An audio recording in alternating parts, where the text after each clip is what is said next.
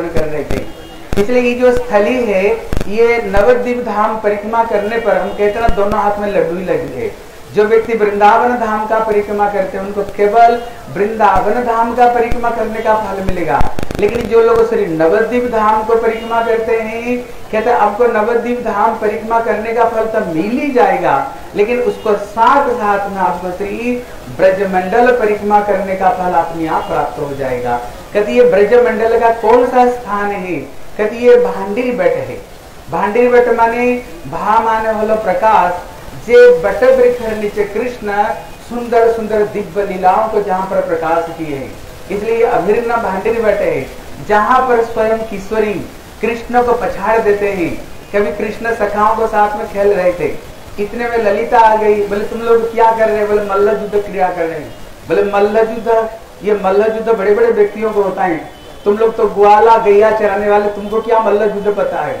सखा ने कहा ज़्यादा बोलो मत। है? हमारा जो खलीफा हमारा जो मेन है, श्री श्याम सुंदर है। ललिता बोले, तुम्हें पता है हमारे मेन कौन है? बोले, श्री किशोर जी है।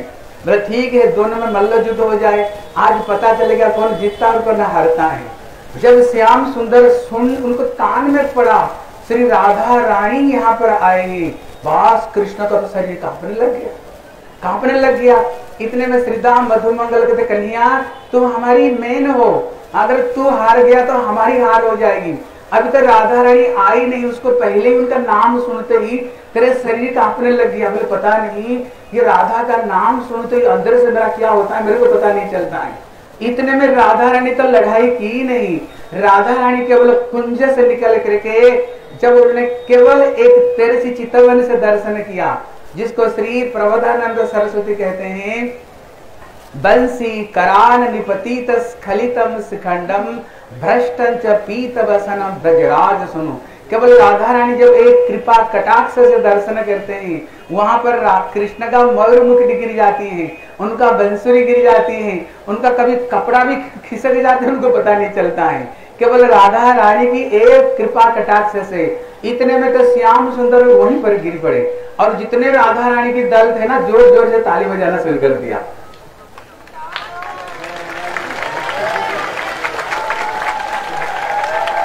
फिर लगता है आप लोग राधा रानी का बच्चे आती है।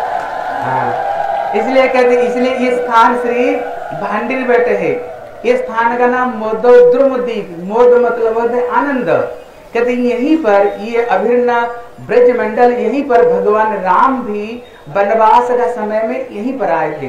पहले यहाँ पर सुंदर एक बट वृक्ष था। इसी बट वृक्ष को नीचे राम, लक्ष्मण, सीता जब बैठे हुए थे और वो पेड़ के ऊपर में सुंदर सुंदर कोयल, जैसे वृंदावन में वहाँ पर कोयल और वहाँ मयूर सबके सब श्री राधा रानी का नाम लेते हैं। लेकिन श्री नवद्वीप धाम में किसका नाम लेते हैं कोयल, मयूर? किसका नाम लेते हैं? श्री निताई निताई और गौर गौर नाम लेते हैं। अभी सारे कोयल पपिया बड़ी सुंदर हाँ बड़े सुंदर के आ कर रहे थे। इतने में रामचंद्र बैठी करके मीठी मीठी मुस्कुरा रहे थे। इतने में सीता देवी ने प्रश्न करते बोले, प्रभु, आप क्यों मीठी मीठी मुस्कुरा रहे हो? बोले, सीते, इसलिए मैं मुस्कुरा रहा हूँ। ये जो धाम है ना, ये साधारण धाम नहीं है। मैं कलयुग में यहीं पर श्री सचिनंदन गौर हरि बनकर के जन्म ग्रहण करूँगा। और क्योंकि कलियुग में हरि नाम संकीर्तन ये धन्य कलियुग है, ये धन्य कलियुग में सारे जीवों को कृष्ण रूपी प्रेम के बाढ़ में विश्व ब्रह्मांड बहाऊँगा। इसलिए मैं यहीं पर श्री महाप्रभु रूप में जन्म ग्रहण करूँगा। बोले, देखो, जब मैं महाप्रभु रूप में जन्म ग्रहण करूँगा, मेरे मैया का नाम होगी सचिन। और मैं ये कली युग में मैंने तुम विष्णु प्रिया बन करके आओगी और मैंने 24 साल उम्र में मैं सन्यास ग्रहण करूँगा। और सन्यास ग्रहण करते हुए मैं चला जाऊँगा श्री जगन्नाथपुरी। और तुम यहीं पर रहोगी और मेरे मूर्ति को पूजा करते हुए दिन रात मेरे विरह में तुम रोती रहोगी, रोती रहोगे तुम। और ये रामावतार में भी, मैं भी एक बहाना बना करके, एक कलंक लगा करके मैं भी तुमको परित्याग करूँगा और तुम चली जाओगी कहाँ पर? श्री वाल्मीकि आश्रम पर। मैं वाल्मीकि आश्रम पर मैं स्वर्ण सीता बनाऊँगा। स्वर्ण सीता बना करके मैं तुम्हारी पूजा करूँगा और दिन रात तुम्हारी चिंतन में, विरह में मैं डूबा रहूँगा। इतने में सीता देवी प्रश्न करती है, बोले, प्रभु, आप ऐसे विरह लीला क्यों करोगे? क्यों हमें परित्याग करोगे? तब उसी समय भगवान ये रहस्य बताते, बोले, देखो, सीते, कहते, प्रेम की दो पहलू है। एक है विरह है और एक है मिलन है। ये प्रेम के दो पहलू है। लेकिन मिलन में क्या होता है? वो ऊपर ऊपर से केवल मिलते हैं, लेकिन बाहर से वो खोते हैं हैं? ऊपर ऊपर से मिलते लेकिन अंदर से खोते हैं, लेकिन विरह से क्या होता है? विरह में तो दिखाई पड़ता है, अलग हो गई। लेकिन अंदर में संपूर्ण रूप में जो मिलन है, वो विरह अवस्था में होता है। इसलिए इसका नाम विरह विरह मतलब क्या? विशेष रूप में रह। रह मतलब होता है केली। विशेष रूप में केली है। इसलिए जैसे श्री, हमारे जो प्रेम सरोवर में, है प्रेम सरोवर जिस समय से राधा रानी कृष्ण की गोद में बैठी हुई थी, एक भौरा ने आए फूल को ऊपर बैठना चाहते हैं। इतने में राधा रानी डर गई। कृष्ण मधुमंगल को बोले, उसको भगा करके आओ। और मधुमंगल ने बोल दिया, मैंने तो मधुसूदन को बड़ी दूर में भगा करके आ गया हूँ। लेकिन राधा रानी गोद में बैठी हुई थी। लेकिन राधा रानी का जो प्रेम वैचित्र था, जब उन्होंने सुना मधुसूदन को भगा करके आगे मधुसूदन आ ही नहीं सकते ही। गोद में बैठी हुई राधा रानी लेकिन राधा रानी की प्रेम की जो चमत्कारिता, उन्होंने हा कृष्णा, हा कृष्ण करते करते वहीं पर व्यस हो गए। कृष्ण आश्चर्य हो गए। भले जब हैं? कहते, मेरे गोद में बैठी हुई राधा रानी का ऐसे प्रेम वैचित्रता लेकिन जब मैं नहीं रहता हूँ राधा रानी, तमाल वृक्षों को देख करके आलिंगन करती हैं मैं को देख करके बात करती हैं, उसी समय में संपूर्ण रूप में मेरे चिंतन में डूब जाती हैं। लेकिन अभी मेरे गोद में बैठी हुई, लेकिन ऐसे इसकी प्रेम की माधुर्यता, वो प्रेम में डूब कर वहीं पर बेहोश हो गई। इसलिए कृष्ण सोचा, हमें छोड़ना पड़ेगा।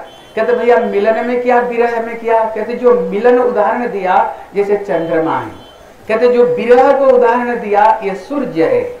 जैसे चंद्रमा में, मिलन में चंद्रमा का किरण जहाँ पड़ता है, उतना स्थान ही प्रकाश करता है। लेकिन सूर्य का किरण विरह को साथ में उदाहरण दिया, कहते, सूर्य का किरण जहाँ पड़ता, वहाँ तो आलोक करता ही है। लेकिन जहाँ पर नहीं पड़ता है, वहाँ पर भी आलोक करता है। इसलिए माधुर्य में क्या होता है? माधुर्य में उनको मिलन में केवल माधुर्यता प्रकाश होता है। लेकिन विरह में विशेष एक बात है, विरह में उनकी माधुर्यता और उनकी ऐश्वर्यता एक साथ में प्रकाश होता है। इसलिए भागवत में जितने गोपी गीत भ्रमर गीत वहाँ वेणु गीत ये सारे गीत किसी अब किसी अवस्था में प्रकाशित हुआ ये सब के सब विरह अवस्था में प्रकाशित हुआ है। जैसे गोपी गीत का जो पहला श्लोक है बोले जयतीत जन्मना ब्रज श्रयत इंदिरा। शाश्वदात्र दयित दृक्षता दीक्षुतावता त्वयि धृता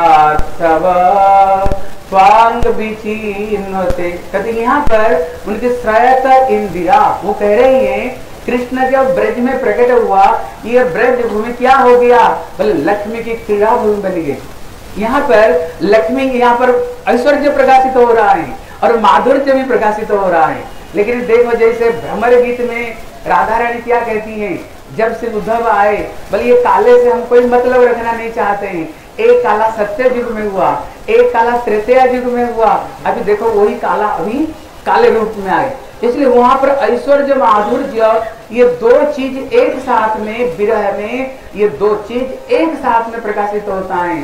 इसलिए रामचंद्र ने कहा, है सीते, मैं भी तुम्हें परित्याग करते हुए, मैं भी तेरे विरह में, मैं भी रहूँगा, तू भी मेरे विरह में रहोगे।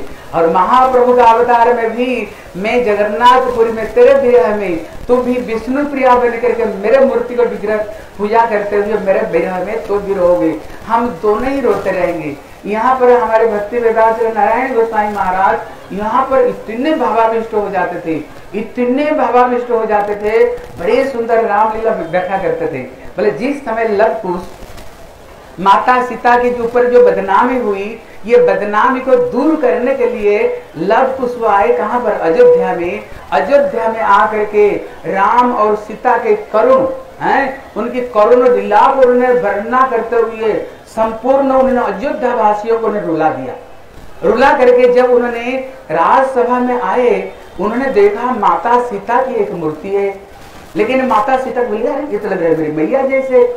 लेकिन ये माता सीता की मूर्ति यहाँ पर। लेकिन अभी तक उनको पता ही नहीं, यही सीता हमारी माँ है। लेकिन जब वो वापस गए, बोले, मैया मैया, हम लोग गए थे अयोध्या में कि वहाँ कीर्तन सुनाने के लिए। लेकिन एक आश्चर्य चीज़ हमने देखा, बोले, क्या देखे? बोले, तेरी जैसे एक मूर्ति हमने देखा। केवल तुम बोल रहे हो और वो मूर्ति नहीं बोल रही है। और हमने देखा राम को उनकी पूजा करते हुए देखा। जो पूजा करते हुए देखा मैया वो कौन थी? जब मैया सीता ने ये चीज़ को श्रवण करती हैं हृदय में प्रेम में गदगद हो जाती बोले क्यों?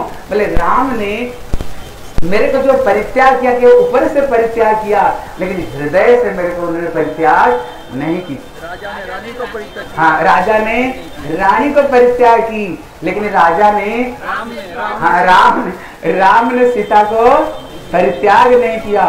इसलिए सीता इसको सुन करके आँखों से आँसू की झरी बहने लग जाती है। इसलिए महाराज यहाँ पर आकर के पूरा उस लीला में अभिष्ट हो जाते थे। इसलिए ये दिव्य स्थली, ये स्थली है। और अब लोगों ने श्रवण किया, पास में कि जन्मद्वीप है, हम उधर क्रॉस करते हुए आए, लेकिन वहाँ पर बैठने का जगह नहीं था, इसलिए हम बैठे नहीं। कहते यहीं पर श्री जन्म मुनि यहीं पर तपस्या कर रहे थे। कभी ये सत्य युग में भी उन्होंने जब भगवान की आराधना की थी, भगवान स्वयं गौर रूप में उनको दर्शन दिया था। जब यहीं पर भजन कर रहे थे, श्री जन्म मुनि, जब भगीरथ ने अपना पूर्वजों को उद्धार करने के लिए आप लोग श्रवण कर रहे थे, सगर महाराज के जो दस हज़ार पुत्र थे, ये जन्म श्री कपिल मुनि की अभिशाप से सबके सब जल करके राख हो गए। बोले इनके उद्धार कैसे होगा बोले अगर गंगा को अवतरण कर सकते हो, इनकी उद्धार हो सकती है। इसलिए इनकी पूर्वज ने दिलीप, अंशुमान आदि बहुत कोशिश किया गंगा को अवतीर्ण करने के लिए, लेकिन गंगा संतुष्ट नहीं हुई। लेकिन ये भगीरथ ने किया कि युवा वयस अभी शादी वादी नहीं किए। उन्होंने युवा अवस्था में जाकर के उन्होंने गंगा जी को आराधना की। आराधना की तो गंगा प्रसन्न हो गई। तब गुरु जी कहते थे, भैया, इनके पूर्वज लोग भी तो तपस्या किए थे। लेकिन उससे संतुष्ट नहीं हुए। इनके तपस्या पे संतुष्ट क्यों हो गए? बोले, कारण यही था, उन लोगों ने रिटायर्ड लाइफ में गए थे तपस्या करने के लिए। रिटायर्ड लाइफ में। लेकिन श्री भगीरथ ने, उन्होंने देखा, मेरे पूर्वज लोग कट, दुख और कष्ट भोग कर रहे हैं और मैं राज सिंहासन में बैठ कर विषय भोग करूँगा। ये नहीं, जब तक मैंने पूर्वजों को उद्धार नहीं करूँ, तब तक मैंने विषय भोग नहीं करूँगा। इसलिए उन्होंने बचपन में ही उन्होंने गए और उन्होंने कठोर तपस्या की। क्योंकि जो बचपन में जाने भक्ति करने पर, इसलिए प्रहलाद महाराज कहते हैं, कौमार आचर्य प्राज्ञम। जो बुद्धिमान व्यक्ति होंगे बचपन से भक्ति करनी चाहिए, तभी तुम्हारी सारी एनर्जी भजन में लगेगा। और रिटायर्ड लाइफ में जब सारे रिटायर्ड क्यों होते हैं? जब देखते हैं और कोई काम नहीं कर सकता आठ आठ घंटा बैठ बोले, जब भैया तो जब हो गया हो गया, अभी घर में जाओ। जब साधारण काम से रिटायर हो गए, फिर भक्ति में कैसे भजन करोगे? इसलिए भक्ति बचपन से करनी चाहिए। इसलिए गंगा को संतुष्ट कर दी। गंगा बोले, मैं तो आ सकता हूँ, लेकिन मेरी दो समस्या है। पहला सब आ सकती हूँ, लेकिन दो समस्या, बोले, क्या पहला समस्या है, मेरे वेग अत्यंत प्रखर है। अगर मेरे वेग को कोई धारण नहीं करेगा तो मैं पाताल चली जाऊँगी। दूसरी समस्या है बड़े बड़े पापी लोग भी आकर गंगा में नहाएँगे। ये पाप से हम मुक्त कैसे होंगी? फिर उनने शंकर जी को आराधना की। शंकर जी प्रसन्न हो गए, बोले, क्यों? बोले, ये गंगा कौन है? बोले, ठाकुर जी की चरणामृत है। और बोले, जैसे एक शंकर जी धारण। दूसरे समस्या है, पापी लोग नहाएँगे बोले, भैया, यहाँ पर बड़े बड़े साधु लोग भी आएँगे, वैष्णव लोग भी आएँगे, वो भी स्नान करेंगे। इसलिए भगवत दिधा भागवत, तीर्थ भूता स्वयं प्रभु, तीर्थ कुर्बंत तीर्थानी शांतस्तेन गदावृतम वैष्णव को अंदर में इतनी शक्ति है, वैष्णव का ज़रूरत नहीं गंगा नहाने का। लेकिन गंगा में जो पाप है, लेकिन जब इनको चरण स्पर्श हो जाता है गंगा का सारे पाप को, ये वैष्णव लोग धारण कर लेते हैं। इसलिए शंकर जी ने कहा, ठीक है, गंगा देवी आ जाओ। गंगा बोले, मेरे बेग को धारण कर सकते बोले हाँ। बोले, देखो कैसे धारण करते हो। गंगा पूरा जी जान को लगा दिया। लेकिन शंकर जी कौन है? ये वैष्णव नाम जथा शंभु श्री शंकर जी। ये देव देव महादेव। शंकर जी बोले, कोई बात नहीं, जितना ताकत, सारे ताकत लगा करके तुम आ जाओ। शंकर जी त्रिशूल लेकर के पूरा इसे खड़े हो गए। बोले, पूरी ताकत लगा दो। और गंगा कलकल नाद करते हुए सारे प्रभाव को, सारे तेज को लेकर के आई। और शंकर जी की जटा में आई तो शंकर जी जटा को उन्होंने इतने फैलाया, वहीं पर ही गंगा देवी समा गई। बोले श्री शंकर बोले श्री गंगाधर श्री शंकर जी की। बोले श्री भोले बाबा की।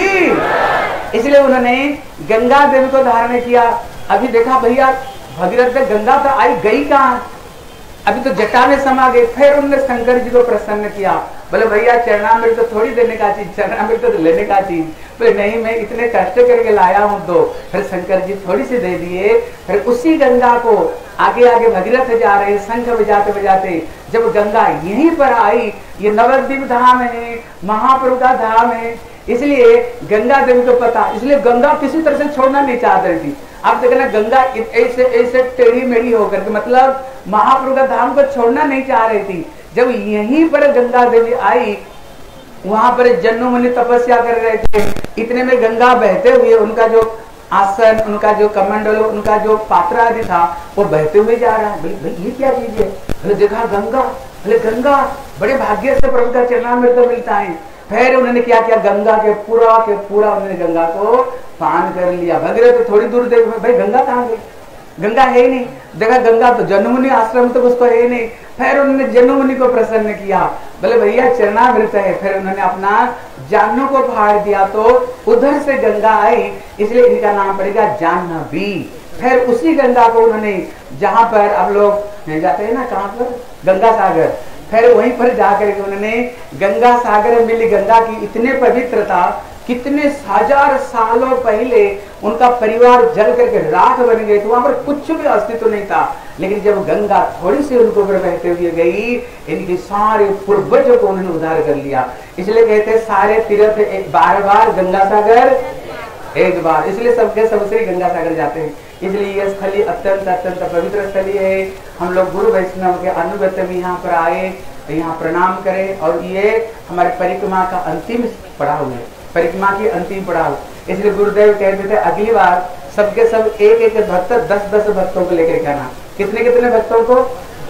इसलिए गुरुदेव और एक बात कहते थे, जब घर में जाओ ना, ये बोलना नहीं हमको रहने के ठीक से नहीं मिला, खाने का ठीक से नहीं मिला, और बड़ा ऐसे बोलोगे तो फिर दूसरे व्यक्ति नहीं आएँगे।